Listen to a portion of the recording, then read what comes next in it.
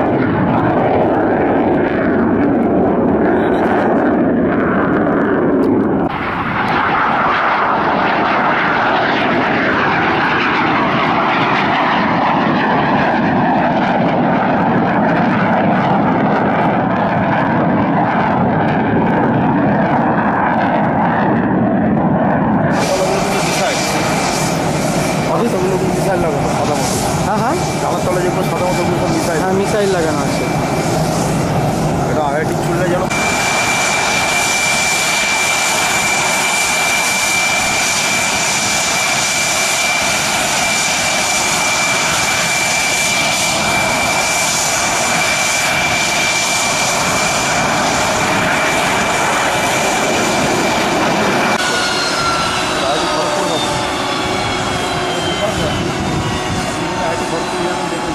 Thank you. 今天这个任务是异常困难的，